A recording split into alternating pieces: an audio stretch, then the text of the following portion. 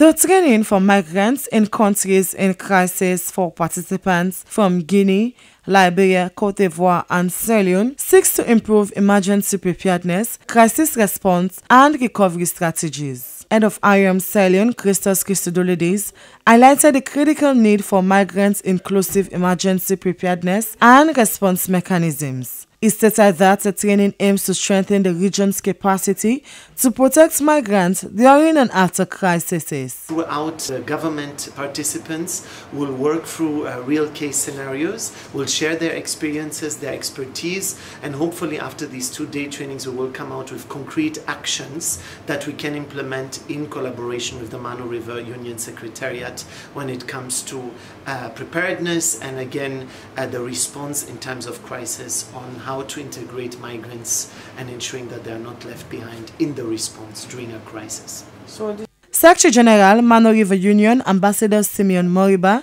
highlighted the relevance of MRU's contribution to member states, stating such training seeks to ensure that migrants and vulnerable populations are not left behind. Senior Technical Advisor, Minister of Internal Affairs Amadou Mana, emphasized the importance of the initiative, stating it reflects the government's steadfast commitment to enhancing the protection and assistance of migrants in countries experiencing crisis. It's an invaluable opportunity for us to exchange knowledge, share best practices, and develop coordinated responses to protect the most vulnerable among us.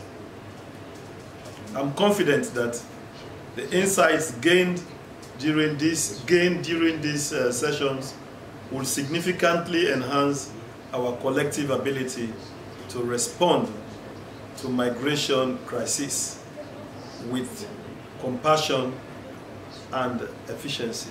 Participants in the coming days will engage in practical scenarios, sharing expertise on emergency planning, communication, and evacuation processes. The training highlights the importance of international cooperation, with Sierra taking a lead in ensuring that its migrants are included in crisis management efforts, particularly in the MRU. SLBC News, Esther Sacko reporting.